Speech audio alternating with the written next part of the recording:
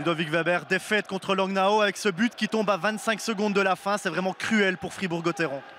Ouais, c'est cruel, c'est rageant. euh, c'est une contre-attaque, euh, un joli shoot dans la lucarne, mais voilà, euh, à la fin, on repart pas avec les trois points, et puis c'est ça qui est, qui est décevant. Qu'est-ce qu'il a manqué à ce valeureux Fribourg ce soir pour faire mieux? Je pense que je pense qu'on était dominant à 5 contre 5. Je pense qu'il nous a manqué de, de marquer des goals sur les power play. On n'avait pas assez de shoot. Et puis euh, je pense que c'est ça qui a, qui a fait la différence aussi ce soir, qu'ils ont réussi à, tuer ces pénalités. Merci beaucoup Ludovic Weber.